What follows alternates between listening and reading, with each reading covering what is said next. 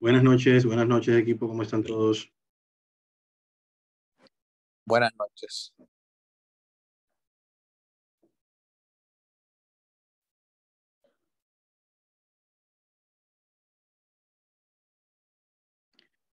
Bien, señores, vamos el día de hoy a trabajar eh, la unidad que, que hemos habilitado el día de hoy. Para ustedes, estaremos trabajando la unidad 6 de este módulo de Excel avanzado. Bien, eh, me gustaría saber si tienen alguna duda sobre lo que hemos visto hasta el momento, específicamente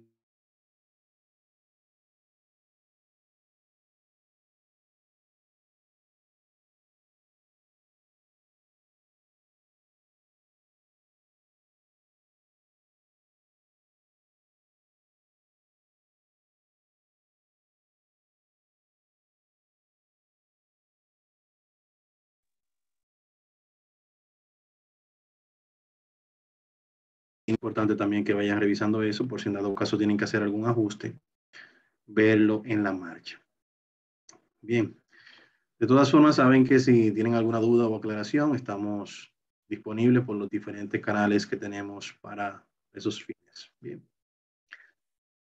Entonces, eh, el día de hoy vamos a continuar viendo relación a la unidad 6, no sé si han podido ver el contenido. Vamos a estar trabajando más desarrollo en base a lo que es Visual Basic Application, parte de aplicaciones de Visual Basic y en la parte de, de UDF también, que la vamos a estar trabajando también el día de hoy. En cuanto a la guía de la unidad, tenemos esta guía que es la guía de la unidad 6.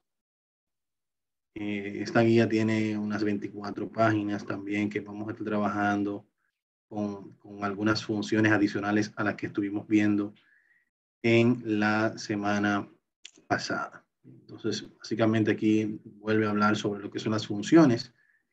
Eh, no sé si recuerdan cuando estuvimos en intermedio, que estuvimos viendo la parte de diferencias entre fórmulas y funciones. Eh, básicamente una fórmula en Excel son argumentos que son separados por un operador, que puede ser eh, matemático, de comparación o de concatenación. Y, en el caso de las funciones, ya todo eso viene pregrabado y Excel solamente nos eh, permite que eh, introduzcamos lo que son los argumentos que van a ser tomados en consideración como punto de entrada en base a la acción que va a realizar esa función. Bien. En este caso, vemos la parte de las funciones en BBVA, que es muy similar a, las funciones que hemos visto anteriormente, pero ya orientada específicamente a la parte de macros. Y las funciones, en, este caso, el concepto como tal es el mismo, pues en, las funciones aquí en macro regresan un, un valor dependiendo de la función que sea. Por ejemplo, aquí tenemos una lista de las funciones más utilizadas. Y cada una de ellas tiene un nombre y una breve descripción de la misma, de lo que hace la misma, cuál es la función de ella. ¿bien? Es muy poco probable que nosotros encontremos, eh, que nosotros podamos encontrar en Excel un macro que se ajuste a una necesidad específica del negocio. Entonces, es lo más probable es que tengamos nosotros que ir creando según la necesidad que vayamos teniendo en el negocio. Y vamos a ir eh, atando cabos o armando ese rompecabezas, utilizando las diferentes funciones hasta lograr ese objetivo que nosotros queremos lograr. Bien. Entonces, eh, a esto es lo que le, le va motivando eh, todas estas funciones que tenemos por acá. Claro, en el día de hoy vamos a utilizar algunas de ellas para que así ustedes vayan viendo cómo las mismas se pueden ir utilizando. Entonces ya aquí vamos viendo ya lo que son eh, las funciones de cadenas en BBVA, lo que son los del tipo de dato string, que ya eso vimos parte de este contenido en cuanto, bueno, en la unidad anterior vimos declaración de variables eh, como double. ¿Se acuerdan que trabajamos ahí la función mi suma a la cual le pasábamos un valor numérico cuando es tipo double, pero en, este caso, en esta ocasión vamos a utilizar tipo string, que es alfanumérico, y se ve como una cadena de texto. Y ya por acá se va viendo el desarrollo de lo que vamos a ir haciendo y las funciones que vamos a ir utilizando para obtener el, el objetivo de esta unidad. Bien. Entonces, a darle una ojeadita a esto, les recomiendo que la descarguen para que la tengan. Eh, todas esas guías la pueden descargar, las actividades también. Y así la tienen en un lugar ahí, en una carpetita. Cuestión de que si ya mañana quieren hacer una consulta, lo pueden hacer con facilidad, puesto que el contenido del curso, como ya ustedes saben, con el tiempo puede desaparecer de su perfil. Entonces es importante tener esto en cuenta. Bien. Entonces, eh, en cuanto en esta unidad no disponemos de audiovisual que les vaya guiando paso a paso, porque precisamente, eh, o sea, de ese, de ese, audiovisual express que tiene cada unidad, como hemos visto anteriormente.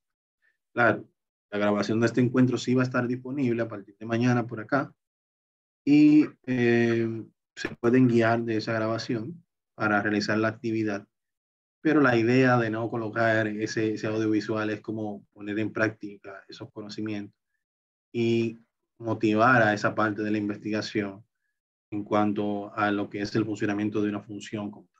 Bien. Pero pueden utilizar este insumo que mañana va a estar disponible. Descargamos por acá el ejercicio de la unidad 6, que es el ejercicio número 9 del, curso completo.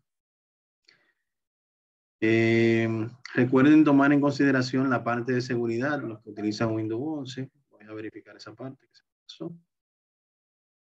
¿Dónde está?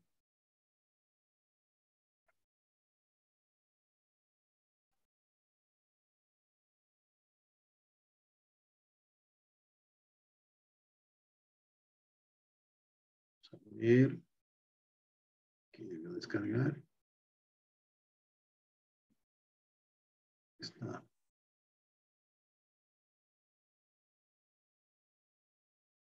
Ahora sí, Vamos a verificar las propiedades. Efectivamente, está bloqueado. Lo desbloqueamos.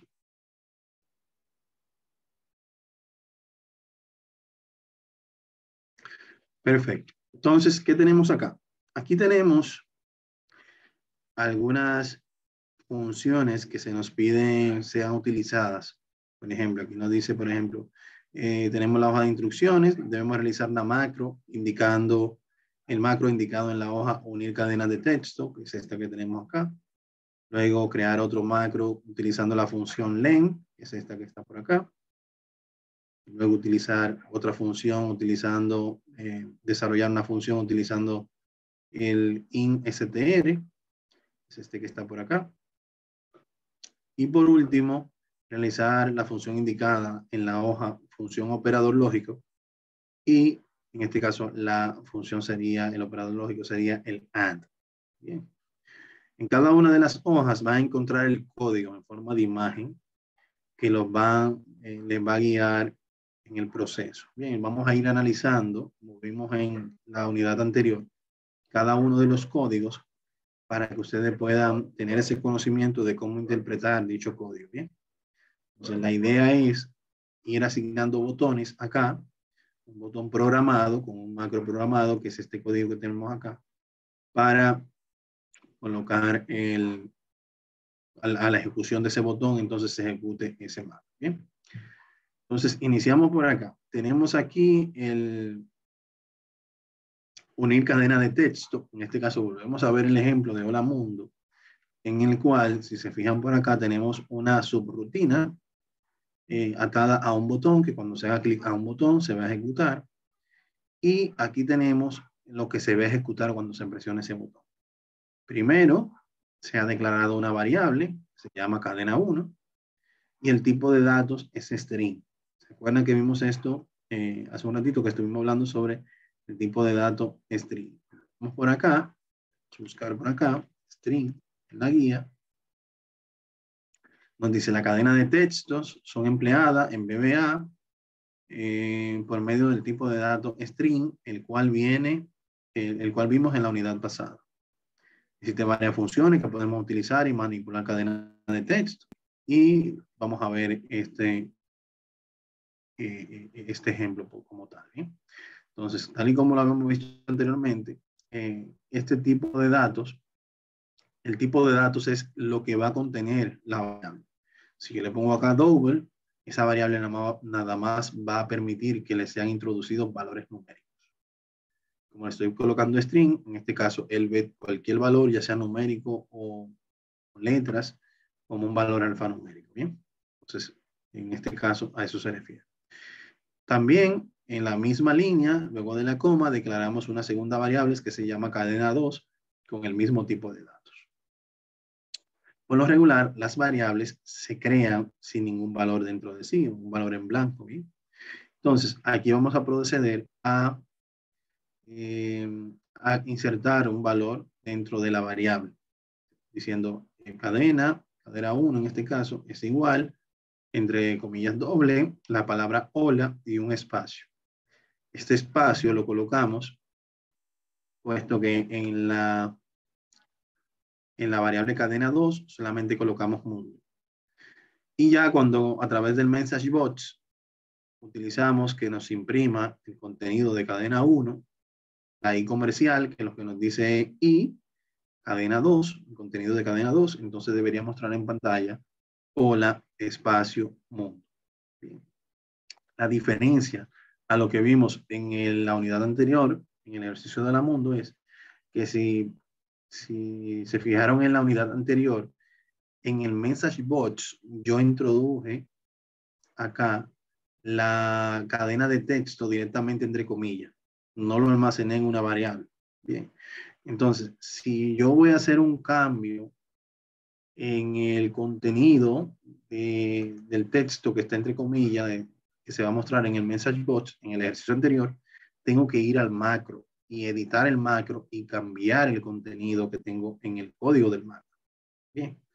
Mientras que si en este escenario yo tengo ya una variable declarada, aunque aquí yo también le estoy colocando el valor directamente, pero la idea es que aquí también puede ser invocada una celda de una de estas que contenga un valor X y que lo muestre en pantalla, por ejemplo. Bien, entonces esa podría ser otra, otra utilidad, que ya tome el valor de un lugar y que lo muestre en pantalla dependiendo del valor que haya en algún lugar. Si yo cambio ese valor, cuando vuelva a ejecutar el botón, va a cambiar el valor que se va a mostrar. Como un ejemplo. Entonces, en este caso vamos a hacer el ejemplo con el mismo la mundo para que así ustedes vayan eh, relacionándolo y vayan viendo la diferencia.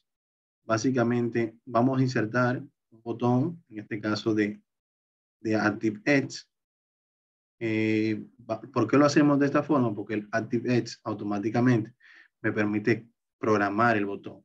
Si utilizo el control de formulario, en este caso él me pide que lo enlace a un macro ya existente. Y no es el caso. En este caso vamos a programar en la marcha. Bien. Entonces, colocamos por acá el botón.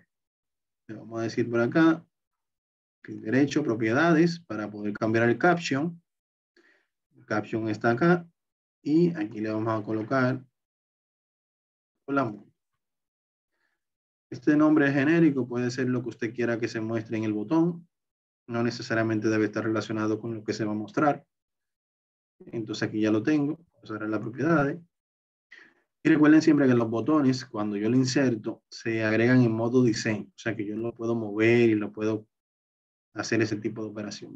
Una vez ya yo termino la programación del botón, desactivo el modo diseño acá y ya ahí él se coloca automáticamente en modo de ejecución que cuando yo le doy un clic, ejecuta la, programación que hay detrás de él. Entonces, por ejemplo, en este caso, le voy a dar doble clic. Si se fijan aquí, ya la subrutina acá se ha creado como private sub command, command botón 1. Bien. Que cuando tú le hagas un clic a ese botón, se va a ejecutar lo que está aquí dentro. Yo por acá tengo el código, que ya lo he, lo he trabajado. Y si se fijan aquí, eh, la subrutina se llama de una forma diferente. ¿Lo aquí? En este caso, la subrutina va a tener el nombre que tenga el botón, de, el botón que acabamos de insertar aquí en las propiedades, aquí arriba. Dice name. Por lo regular, Excel le va colocando un nombre dependiendo del objeto por defecto y va incrementando este valor numérico si yo voy insertando varios botones de ese mismo, ¿bien? O sea, si inserto un botón 2 dentro de esta misma hoja, entonces ella acá me va a decir botón 2, ¿ven? Si veo las propiedades, entonces me dice aquí command botón 2. Porque en el sistema, si estoy programando un macro en esta hoja, en esta hoja no deben haber dos objetos con el mismo nombre. Sí puedo tener objetos con el mismo caption, porque el caption es más estético. Más para que el usuario lo vea de esa forma. Pero detrás, a nivel de programación, debe haber un solo, un, nombre único para cada objeto. Bien. Entonces, vamos a borrar esto. Si le colocamos acá, aquí le colocaríamos solamente lo que está dentro, desde la declaración de la variable hasta el mensaje que se va a mostrar, puesto que el end sub, el, final, el, cierre de la subrutina, ya también lo tenemos acá cuando damos doble clic. Bien. Entonces, acá colocamos el contenido, ya vemos aquí cómo se va declarando, aquí podemos colocar para modificarlo. Y ya una vez que yo guardo ese, ese macro, me dice que lo guarde habilitado para macro.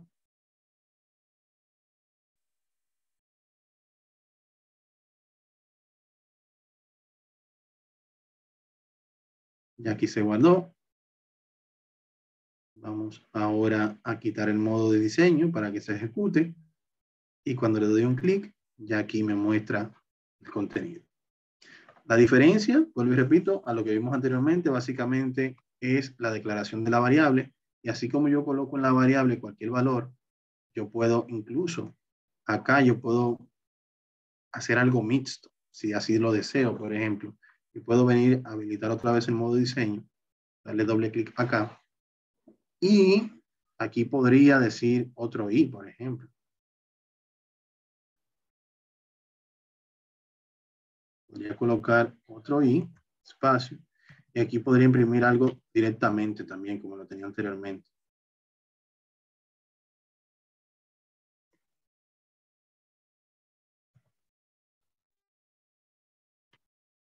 Por ejemplo, ¿verdad? Guardo este macro. Y si lo ejecuto ahora, vamos a ver qué tal. No le coloqué el espacio, quizá por eso aquí no me aparece, pero si se fijan, aquí tengo algo compuesto entre una línea de datos estáticos y una eh, consulta a variables que ya tengo acá. Entonces, podríamos, por ejemplo, eh, según nuestra creatividad vaya eh, relacionando nuestro cerebro lo que estamos haciendo, podríamos decir, bueno, por ejemplo, vamos a suponer que ustedes tienen una base de datos con nombres y a esos nombres tienen que crearle una carta genérica, por ejemplo. Yo podría crear algo similar a esto, en el cual yo tengo eh, los datos genéricos, como un BLH, que fue lo que acabamos de agregar, y los datos dinámicos desde variables que pueden ser pueden venir de una hoja de, Excel, por ejemplo. Entonces, podría tener algo combinado. Entonces, no sé, una idea en base a lo que, a lo que estamos haciendo y lo que puede pasar en un ambiente real. Entonces, si lo quito, vamos a probarlo ahora. Aquí vemos que ya tiene su espacio. En cuanto a la función length, eh, esta función básicamente lo que hace es que me identifica, me coloca el, la cantidad de caracteres que tenga una, eh, una cadena. Bien, la cantidad de caracteres. Eso es lo que ella va a descubrir. Entonces, si lo buscamos por acá, la función len, y esto es lo bueno de esto. O sea, yo, si yo tengo la necesidad de algo y, o tengo eh, tengo una duda sobre cómo utilizar esta función, yo podría rápidamente hacer una búsqueda. Hasta en el mismo Google, función len en Excel, por ejemplo, y aquí me va a aparecer un sinnúmero de eh, explicaciones que yo podría utilizar, incluso audiovisuales que yo podría tomar como, como referencia para yo poner a funcionar esta, esta función, valga la redundancia. Entonces, eh, es como forma de nosotros motivar a la investigación. Entonces, ¿cuál es lo que, ¿qué es lo que hacemos acá? Aquí tenemos definida una variable tipo string, que ya vimos lo que es tipo string. A esa variable le colocamos nuevamente las palabras hola mundo. Y luego en el message box le decimos que utilizando la función len, verifique cuál, eh, lo que contiene la variable cadena. Entonces, ella va a venir acá cuando se ejecute esto, va a decir 1, 2, 3, 4, 5, 6, 7, 8, 9, 10. Y me va a mostrar el 10. Bien, es una forma de hacerlo. Entonces, vamos a hacerlo.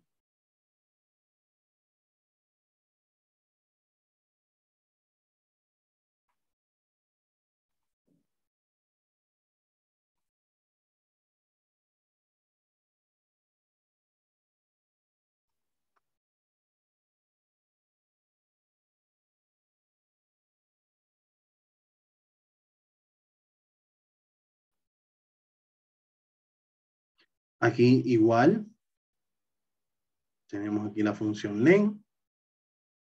Copiamos desde acá hasta acá.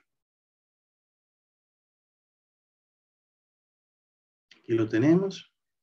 Si aquí yo le digo, por ejemplo, mundo, espacio de espacio, Excel. Y aquí yo agregué cuatro caracteres más hasta acá. Y luego aquí tengo 2, 4 y 5. O sea que en total serían, debe mostrarme 19 caracteres. Bien. Entonces aquí yo podría decir, por ejemplo, entre comillas doble, cantidad de caracteres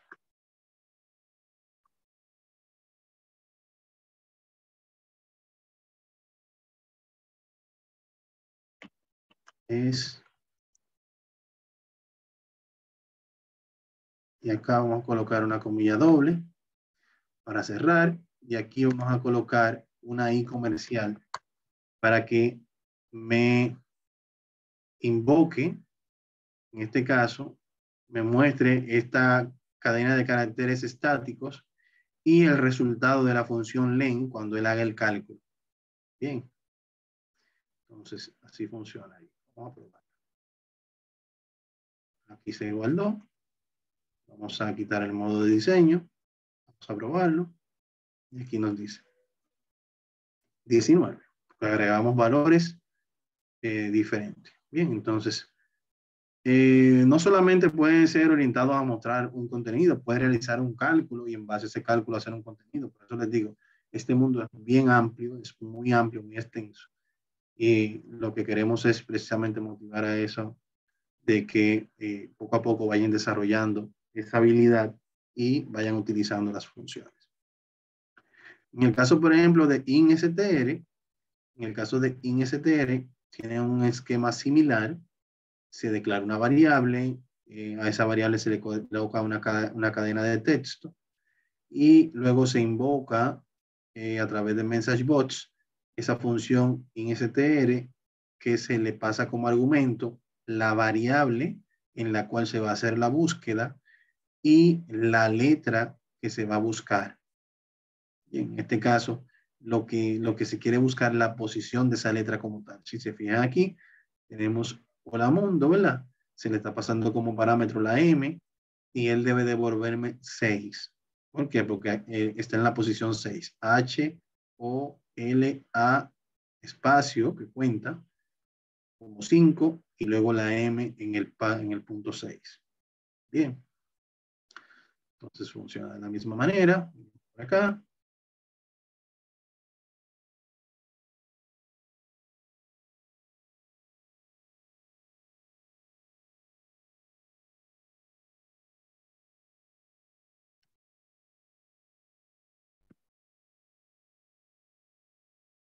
Lo tenemos.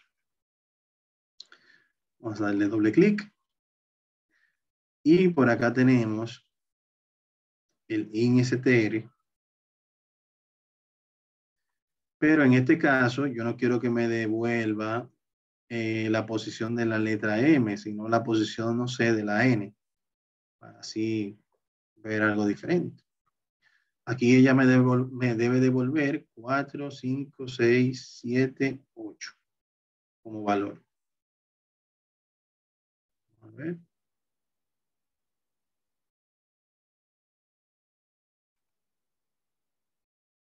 Aquí lo tenemos. Bien, si buscamos también esa función en, en la guía, aquí la tenemos, la función ICTN devuelve la posición de un carácter dentro de la cadena. Supongamos que quiero encontrar la posición M y aquí se explica paso a paso. Aquí nos dice también que es importante resaltar que la función INSTR es sensible a mayúscula y minúscula. Eh, entonces, en este caso, si, estoy buscando esta y aquí no la tengo, entonces mm, va a decir que no la encontró. Entonces es importante también tomar eso en consideración.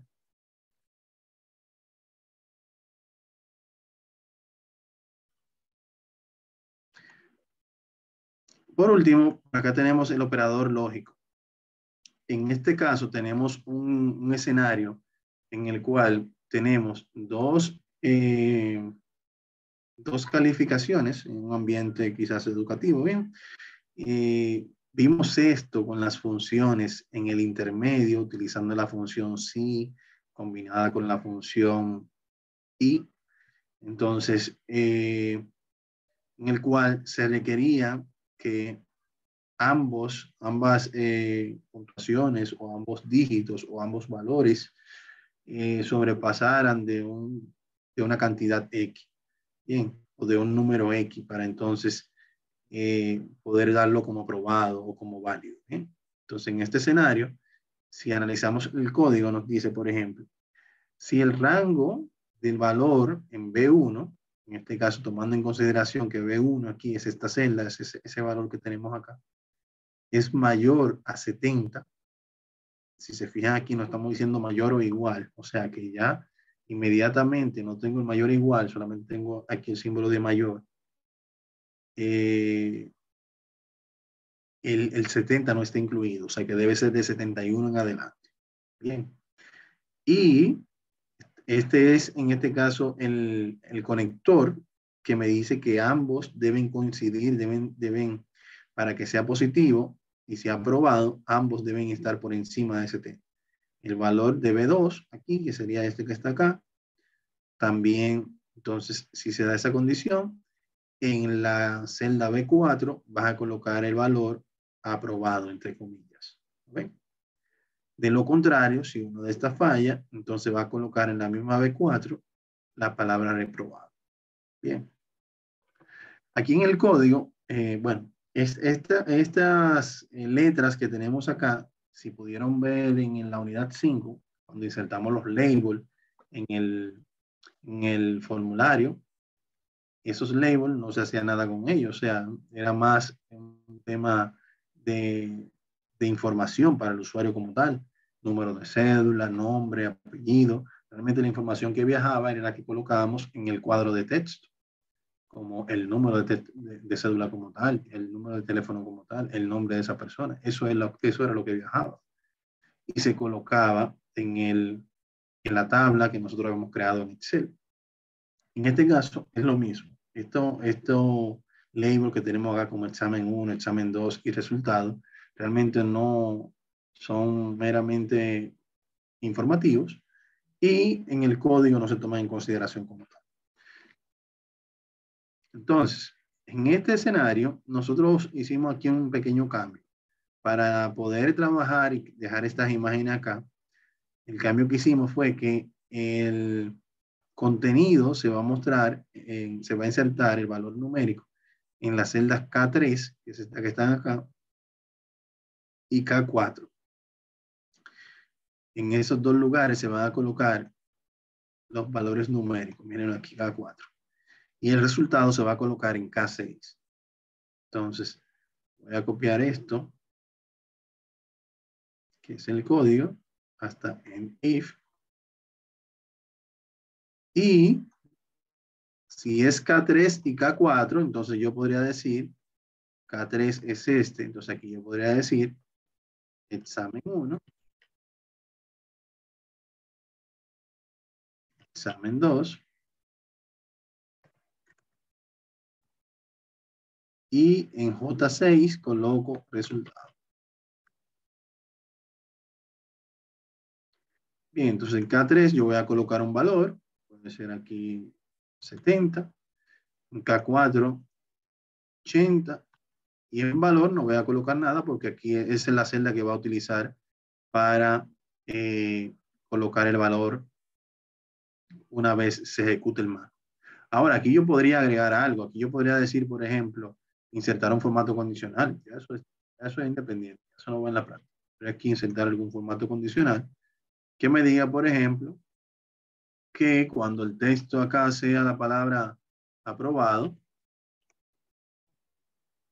que me lo coloque en un formato, por ejemplo, negrita y un relleno en verde, por ejemplo.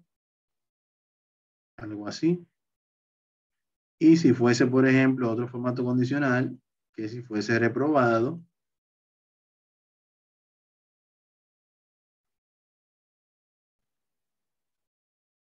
que me coloque en un formato similar, pero en rojo. Así le damos como un poco más de vida a esto, ¿verdad?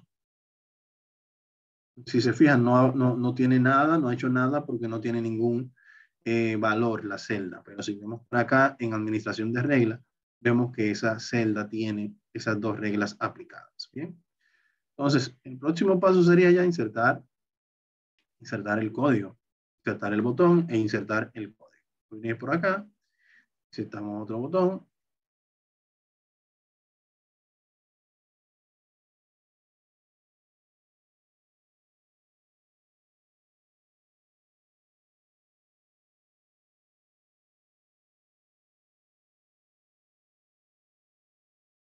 Vamos a poner esto como negrita. Muy clarito.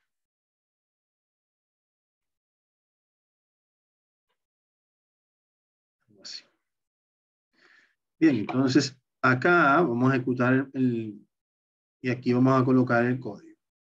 Como ya aplicamos y colocamos eh, que todo va a ser en K3 y en K4 y va a mostrar en K6, ya aquí eso lo tomamos en consideración explicamos esa parte. Si se fijan, en este caso tenemos dos en if porque dentro de la dentro de la subrutina, hemos abierto aquí una función que se llama si, para, que es como una toma de decisión. Si esto y esto y esto es el resultado, entonces muéstrame, eh, muéstrame esto. De lo contrario, entonces muéstramelo. Y aquí termina la función si, que está anidada dentro de la subrutina command 1 clic. Bien. Entonces, presionamos guardar. Vamos a probar. Deshabilitamos el modo de diseño. Y probamos. Y así se fijan, aquí me aparece reprobado. Aún en examen 2, estando eh, por encima del 70, porque son este, en este este enlace que es I, o esta conexión, este conector, lo que hace es que me dice que deben ambos coincidir. Entonces, si este sube, por ejemplo, a 75 o a 71, ya automáticamente cambia a aprobado. ¿bien? Ahora, podemos hacerle cambios. Si aquí yo, por ejemplo, voy a modo de diseño, le doy doble clic, y aquí en vez de que sea una AND, que sea, por ejemplo, un OR, Un OR, ¿qué quiere decir? Un OR quiere decir que o una o el otro. Bien, entonces ya aquí, si hay uno que queda por debajo de 70, pero uno de ellos está por encima, cuando yo le doy, ay, perdón, cuando le doy aquí, me aparece como aprobado, pues uno de ellos está. Ahora, si uno de ellos está por debajo de 71 y le doy a calificar, si ambos, perdón, están por debajo, entonces ahí ya eh, me dice reprobado. Bien, entonces eso para que lo tengan en consideración. ¿Alguna duda sobre lo que hemos visto hasta el momento? ¿Aclaración?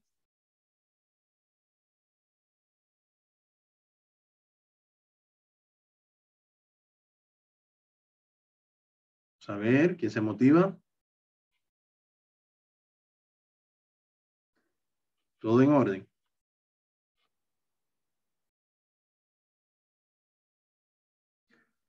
Perfecto. Bueno, señores, eh, como les decía, esta es la última unidad de este curso. Eh, espero que les haya gustado el curso de Excel avanzado. Eh, van a tener para hacer la entrega hasta el próximo. tengo que verificar esa parte. A ver a qué fecha fue que la puse la entrega. Vamos a ver. Para que así estén claros al lunes 31 a la medianoche.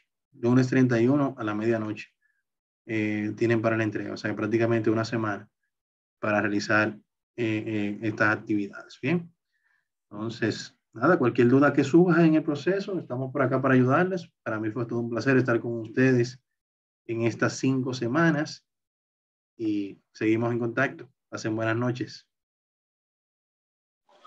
Gracias, profesor. Siempre la